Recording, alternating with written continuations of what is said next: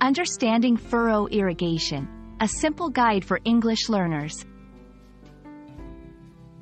Hello, everyone. Today, we're going to explore the meaning of the phrase, furrow irrigation. This is a common term in agriculture, and understanding it can be very helpful, especially if you are interested in farming, gardening, or environmental studies. So, let's dive in and learn about this interesting topic.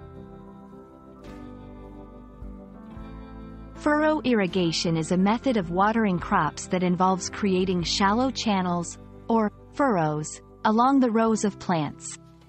Water is then directed to flow down these furrows, soaking into the soil and reaching the roots of the plants. This method is particularly effective for row crops, such as corn, cotton, and potatoes. It's a traditional and simple way to irrigate crops, and it's still widely used around the world today.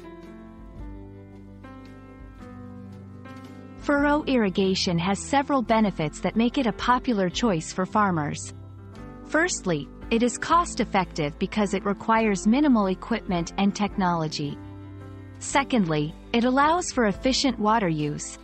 Farmers can control the amount of water used, reducing wastage.